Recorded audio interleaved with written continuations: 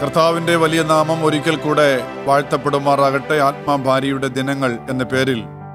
ഒരുമിച്ച് ദൈവത്തെ ആരാധിപ്പാനും മഹത്വപ്പെടുത്തുവാനും ദൈവം ഒരുക്കുന്ന നല്ല അവസരങ്ങൾക്കായി ദൈവത്തെ സ്തുതിക്കുന്നു. അതിമനോഹരമായ ഗാനങ്ങൾ പാടി അത്യുന്നതനായ ദൈവത്തെ നാം സ്തുതിക്കുകയും ആരാധിക്കുകയും ചെയ്തുകൊണ്ടിരിക്കുകയായിരുന്നു. ആരാധനയുടെ നടുവിൽ ആത്മീക സന്തോഷം നാം അനുഭവിക്കുമ്പോൾ തന്നെ വിടുതലുകളും അനുഗ്രഹങ്ങളും ഏറ്റുവാങ്ങുവാൻ കർത്താവ് കൃപയകട്ടെ എന്ന് പ്രാർത്ഥിക്കുന്നു. അല്പനേരത്തെ ദൈവവചന ധ്യാനത്തിനായി ഒരു തിരുവചന ഭാഗം നമുക്ക് വായിക്കാം. യോവേൽ പ്രവചനം രണ്ടാമത്തെ അധ്യായം ഇരുപത്തി മൂന്നാമത്തെ വാക്യം. അവൻ തക്കയളവായി നിങ്ങൾക്ക് മുൻമഴ തരുന്നു. അവൻ മുൻപേ പോലെ നിങ്ങൾക്ക് മുൻമഴയും പിൻമഴയുമായ വർഷം പെയ്ച്ചു തരുന്നു. ദൈവം നമുക്ക് തക്ക സമയത്ത് തക്കയളവായി മുൻമഴയും പിൻമഴയും പെയ്ച്ചു തരുന്നവനാണ്. ഹോഷിയ പ്രവചനം ആറാമത്തെ അധ്യായത്തിന്റെ മൂന്നാമത്തെ വാക്യത്തിൽ എന്റെ പുറകിൽ എതിരിക്കുന്ന വാക്യം ദൈവം മഴ പോലെ ഭൂമിയെ നനയ്ക്കുന്ന പിന്മഴ പോലെ ഇറങ്ങി വരും. ദൈവം മഴ പോലെ ഭൂമിയെ നനയ്ക്കുന്ന പിന്മഴ പോലെ. മുൻമഴയും പിന്മഴയും കാർഷിക വൃത്തിയോട് ബന്ധപ്പെട്ട ഒരു പദമാണിത് മുൻമഴയും പിന്മഴയും എന്നാൽ ആത്മീക മണ്ഡലത്തോടും ഈ തിരുവചന ഭാഗം ബന്ധപ്പെട്ടിരിക്കുകയാണ്. ഇത് കേവലം കൃഷിയെക്കുറിച്ച് പറയുന്ന വാക്യമല്ല ഇത് ആത്മീക മണ്ഡലത്തോട് ബന്ധപ്പെട്ട ഒരു തിരുവചന ഭാഗമാണ്. ദൈവത്തിന്റെ സഭയെ തോട്ടമെന്നും ദൈവത്തിന്റെ കൃഷി എന്നും വിശേഷിപ്പിച്ചിട്ടുണ്ട്. ദൈവത്തിന്റെ തോട്ടത്തിൽ വൃക്ഷങ്ങളുണ്ടെന്നും ദൈവത്തിന്റെ തോട്ടത്തിൽ വെള്ളം നിറഞ്ഞിരിക്കുന്നു എന്നും വചനത്തിൽ നാം വായിക്കുന്നു. അപ്പോൾ മുൻമഴയും പിന്മഴയും ഒരു കർഷകന് അത്യാവശ്യമാണ്. മുൻമഴ നിലം ഒരുക്കുവാൻ വേണ്ടിയിട്ടുള്ളതാണ്. വിത്ത് വിതയ്ക്കുവാൻ വേണ്ടിയിട്ടുള്ളതാണ്. പിന്മഴയാകട്ടെ കൊയ്ത്തിനു വേണ്ടി പാകമാകുന്ന വിളവുകൾ ധാന്യം അത് പൂർണ വളർച്ച എത്തേണ്ടതിന് വേണ്ടി കരിഞ്ഞു പോകാതെ വാടിപ്പോകാതെ ഫലപുഷ്ടിയുള്ളതായി മാറേണ്ടതിന് വേണ്ടി ദൈവം അയക്കുന്ന മഴയാണ്. ദൈവമക്കളുടെ ബന്ധത്തിൽ ദൈവത്തിന്റെ വചനം പറയുന്നത് ദൈവം നമുക്ക് തക്ക സമയത്ത് തക്ക അളവായി മുൻമഴ തരും പിന്മഴ തരും. രണ്ട് വാക്കുകൾ ശ്രദ്ധിക്കുക. ഒന്ന് തക്ക സമയത്ത്. മഴ സീസൺ തെറ്റി വന്നാൽ അത് നമുക്ക് ദോഷമാകും. മഴ പെയ്യേണ്ട സമയത്ത് പെയ്യണം. മഴ സീസൺ തെറ്റിയാൽ ബുദ്ധിമുട്ടാവും. തക്കയളവായി നമ്മൾ ജലപ്രളയം അനുഭവിച്ചിട്ടുണ്ട്. മഴ ശക്തമാകുമ്പോൾ ഇപ്പോഴും നമുക്ക് പേടിയുണ്ട്. വെള്ളപ്പൊക്കത്തിന് നാം ഭയപ്പെടുന്നു. എന്നാൽ തക്കയളവായി എന്ന് പറയുമ്പോൾ അതൊരു അനുഗ്രഹമാണ്. ഇതൊരു മഴക്കാലമാണ്. തക്ക സമയത്ത് തക്കയളവായി മഴ പെയ്യ്ക്കുന്നവനാണ് ദൈവം. എന്താണ് മുൻമഴ? എന്താണ് പിന്മഴ രണ്ട് വാക്യങ്ങൾ ഇതുമായി ബന്ധപ്പെട്ടിട്ട് നിങ്ങളുടെ ശ്രദ്ധയിലേക്ക് പെടുത്തുവാൻ ആഗ്രഹിക്കുകയാണ്. മുൻമഴ എന്ന് പറഞ്ഞാൽ എന്താണ്? പിന്മഴ എന്ന് പറഞ്ഞാൽ എന്താണ്? ആവർത്തന പുസ്തകം മുപ്പത്തിരണ്ടാമത്തെ അധ്യായം. അതിന്റെ രണ്ടാമത്തെ വാക്യത്തിൽ നാം ഇങ്ങനെ വായിക്കുന്നു. മഴ പോലെ എന്റെ ഉപദേശം പൊഴിയും. എന്റെ വചനം മഞ്ഞു പോലെയും ഇളം പുല്ലിന്മേൽ പൊടിമഴ പോലെയും സസ്യത്തിന്മേൽ മാരി പോലെയും ചൊരിയും. ദൈവം മഴ പോലെ ഇറങ്ങി വരും. ദൈവം മുൻമഴ പോലെ ഇറങ്ങി വരുമെന്ന് പറഞ്ഞാൽ ഈ തിരുവചന ഭാഗം നമ്മെ ഓർപ്പിക്കുന്നത് മഴ പോലെ എന്റെ ഉപദേശം പൊഴിയുമെന്നാണ്. എന്റെ വചനം മഞ്ഞു പോലെയും ഇളമ്പുലിന്മേൽ പൊടിമഴ പോലെയും സസ്യത്തിന്മേൽ മാരി പോലെയും ചൊരിയും. വിത്ത് വിതയ്ക്കണമെങ്കിൽ ആദ്യം നിലമൊരുക്കണം. ഇവിടുത്തെ നിലമെന്ന് പറയുന്നത് മനുഷ്യ ഹൃദയങ്ങളാണ്. മനുഷ്യ ഹൃദയങ്ങൾ ഒരുക്കപ്പെടുവാൻ ദൈവം വചനത്തിന്റെ മാരി വേപ്പിക്കണം. മുൻമഴയെ ഞാൻ വചനമാരിയോട് ബന്ധപ്പെടുത്തുന്നു. തിരുവചനം വീണ്ടും വായിക്കുന്നു. മഴ പോലെ എന്റെ ഉപദേശം പൊഴിയും. എന്റെ വചനം മഞ്ഞു പോലെയും. ഇളം പുല്ലിന്മേൽ പൊടിമഴ പോലെയും. സസ്യത്തിന്മേൽ മാരി പോലെയും ചൊരിയും. വചനമാരി. വചനത്തെ ഇങ്ങനെ പറയുന്നു. മഴ പോലെ മഞ്ഞു പോലെ പൊടിമഴ പോലെ മാരി പോലെ. ഇപ്പം ദൈവവചനം നമുക്ക് ലഭിക്കുന്നത് പല നിലകളിലാണ്. കട്ടിയായുള്ള ആഹാരം ലഭിക്കേണ്ട സമയത്ത് കട്ടിയുള്ള ആഹാരം പാൽ കുടിക്കേണ്ട സമയത്ത് പാൽ. ഭൂമിയെ നനയ്ക്കുന്ന മഴകൾക്ക് വ്യത്യാസമുണ്ട്. നോക്കുക മഞ്ഞു പോലെ മഴ പോലെ പൊടിമഴ പോലെ മാരി പോലെ. മഞ്ഞു പോലെ മഴ പോലെ പൊടിമഴ പോലെ മാരി പോലെ.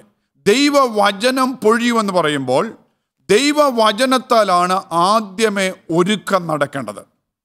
ദൈവവചനം കൊണ്ട് ഹൃദയം ഒരുക്കപ്പെട്ടാൽ അവിടെ വിത്തുകൾ പാകപ്പെടും. വിത്തുകൾ പാകപ്പെട്ടാൽ അവിടെ ചില ദൈവപ്രവർത്തികൾ നടക്കും. വചന ശുശ്രൂഷയുടെ നടുവിൽ നമ്മുടെ ഹൃദയം ഒരുക്കപ്പെടണം. നല്ല നിലമായി മാറണം. കല്ലും മുള്ളും ഒക്കെ പെറുക്കിക്കളയണം ആ നിലത്തെ നാം ഉഴുതു മറിക്കണം. ഹൃദയം എല്ലാറ്റിനേക്കാൾ കപടവും വിഷമവുമുള്ളതാണ്. അതാരാഞ്ഞറിയുന്നവൻ ആരാണ് സ്വർഗസ്ഥനായ ദൈവം തന്നെയാണ്. ഈ ഹൃദയത്തെ നല്ല വിത്തുകൾ പാകേണ്ടതിന് യജമാനൻ ഒരുക്കുവാൻ ആഗ്രഹിക്കുന്നു. അതുകൊണ്ട് ദൈവം ആദ്യമേ വരുന്നത് മഴ പോലെ വചനമാരിയായിട്ടാണ്. യേശു ക്രിസ്തുവിന്റെ ജീവിതം പഠിക്കുക.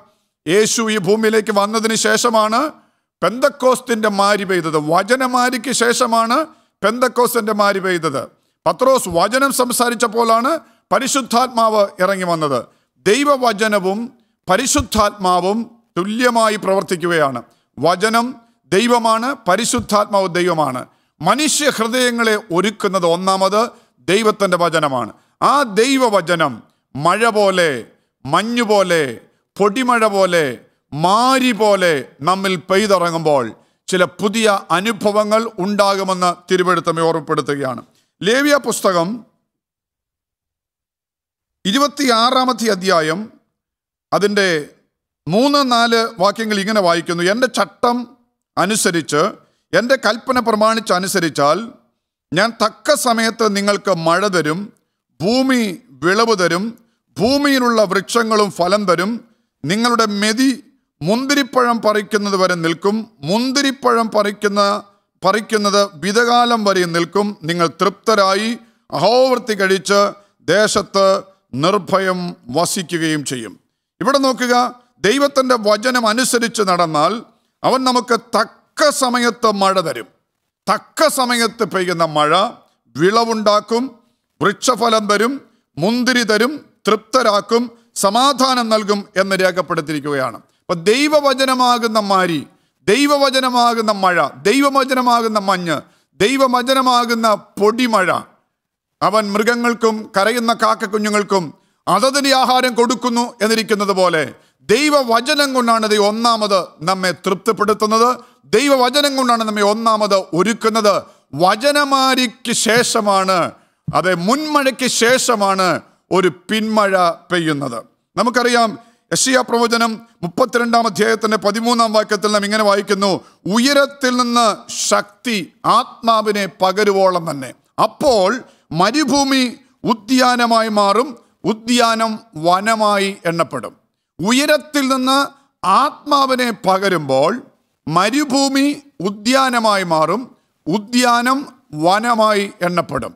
വചനമാരിക്ക് ശേഷം ആത്മമാരിയെ ദൈവം വചന ശുശ്രൂഷ കൂടാതെ വചനത്താൽ ഒരു കഴുകൽ കൂടാതെ വചനത്താൽ ഉഴുതുമറിക്കാതെ വചനത്താൽ ശുദ്ധീകരണം നടക്കാതെ വചനത്താൽ മാനസാന്തരം ഉണ്ടാകാതെ വചനത്താൽ ഒരു മാറ്റം ഉണ്ടാകാതെ ഒരു പിന്മഴ അയച്ചിട്ട് കാര്യമില്ല. മുൻമഴ നമ്മെ ഒരുക്കുന്നതും പിന്മഴ നമ്മെ കളപ്പൊറികൾ ശേഖരിക്കുന്ന മുമ്പുമുള്ള മഴയാണ്. യേശുക്രിസ്തു ഭൂമിയിലേക്ക് വന്നപ്പോൾ അവൻ സാക്ഷാൽ വചനമായിരുന്നു. അവൻ നമ്മുടെ ഇടയിൽ പാർത്തു. അവന്റെ മൊഴികൾ നിത്യജീവന്റെ മൊഴികളായിരുന്നു. പിതാവായ ദൈവം മഴ പോലെ പുത്രനെ അയച്ചു. പിന്മഴ പോലെ പരിശുദ്ധാത്മാവിനെ അയച്ചു.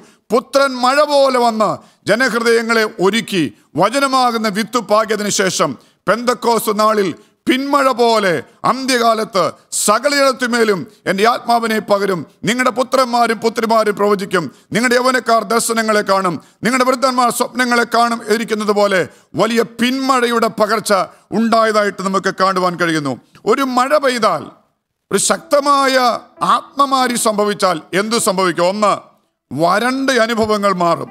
യഷിയ പ്രവചനം മുപ്പത്തി അഞ്ചാമത്തെ അധ്യായം ഇങ്ങനെ വായിക്കുന്നു മരുഭൂമിയും വരണ്ട നിലവും ആനന്ദിക്കും. നിർജന പ്രദേശം ഉല്ലസിച്ച് പനിനീർ പുഷ്പം പോലെ പൂക്കും. അത് മനോഹരമായി പൂത്ത് ഉല്ലാസത്തോടും ഘോഷത്തോടും കൂടെ ഉല്ലസിക്കും. ലെബാനോന്റെ മഹത്വവും കർമ്മേലിന്റെയും ഷാരോന്റെയും ശോഭയും അതിന് കൊടുക്കപ്പെടും. അവർ ഹോവയുടെ മഹത്വവും നമ്മുടെ ദൈവത്തിന്റെ തേജസ്സും കാണും. മരീചിക ഒരു പൊയ്കയായും വരണ്ട നിലം നീരുറവകളായും തീരും. മഴ പെയ്താൽ മരുഭൂമിയുടെ അവസ്ഥ മാറും. മഴ മാറിയാൽ ദാഹം ശമിക്കും. മഴ മാറിയാൽ ഭൂമിയിലെ കട്ടകൾ ഉടയും.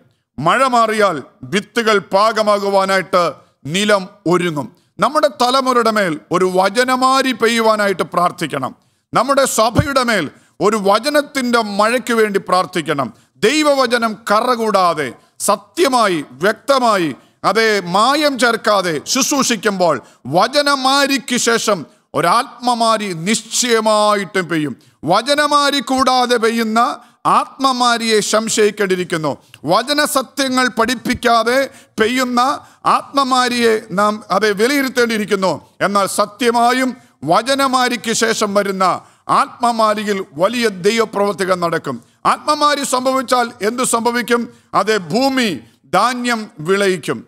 തക്ക അളവായിട്ട് മുന്തിരി അതിന്റെ ഫലം തരും. എണ്ണ പനകൾ അതുപോലെ ഒലു വൃക്ഷങ്ങൾ ദേവദാരു മുതലായ വൃക്ഷങ്ങൾ ഫലം കായ്ക്കുവാനായി തുടങ്ങും.